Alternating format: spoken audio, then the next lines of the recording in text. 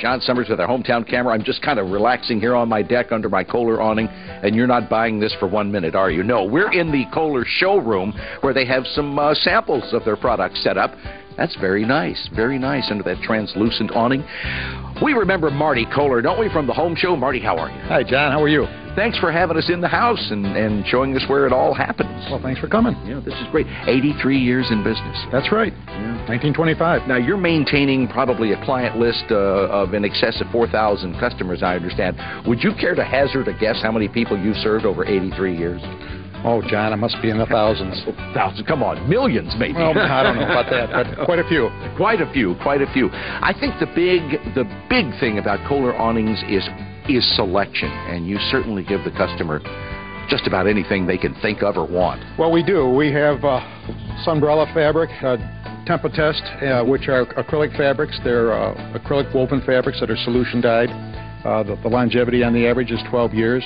They have the colors on both sides, and they also provide a nice translucent effect when you're under, when you're yeah. underneath. How, how, in the world do you do that? They, I mean, looking at it right now, it looks absolutely solid, and yet you get under it, or you put a light on the other side, and and the light is able to come through. Well, that's the beauty of the fabric. The old canvas was much more opaque. Yeah. Uh, this fabric does glow, and it makes it for a nice, light, airy feeling underneath the awning. Yeah just wonderful. Look at all the different choices you could have.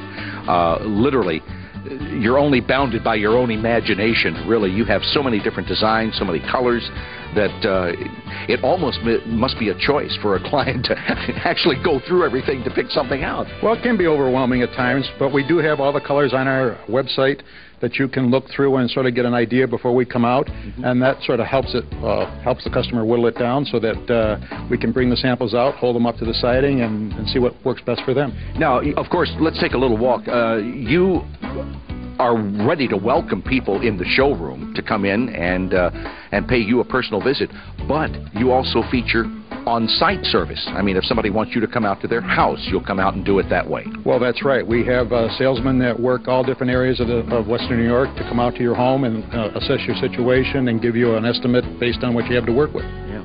Well, while it's very pretty here in the showroom, we definitely have some magic to show you in the back.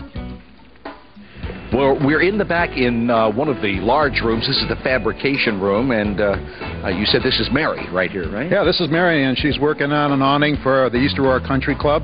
Wow. Yeah, you've got a nice client. well, it's quite a, it's going to be quite a large awning and, and quite spectacular when it's up this uh, this spring. Now, approximately how long would it take someone like Mary to finish the job she's doing? And I, she's probably not doing the whole awning, right? She's doing a portion of it, and somebody else will pick up and work on another part. Well, she's working on the sewing, obviously, here, and you know, there's been a lot of different stages to get to this point.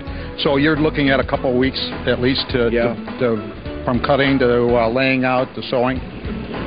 How many folks do you have doing the kind of work that Mary does around here, Marty? You have we have about six to eight sewers. Yeah.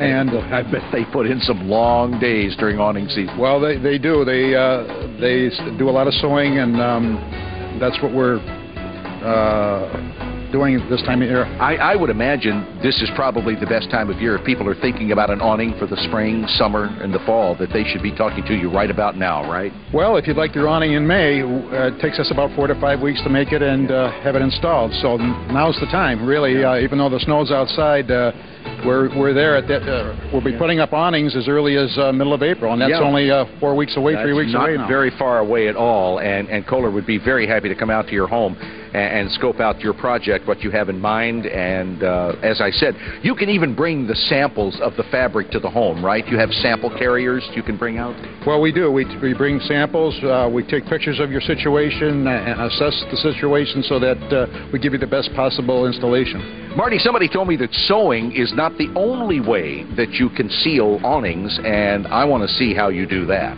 Okay, well, we'll go over to the uh, welding machine.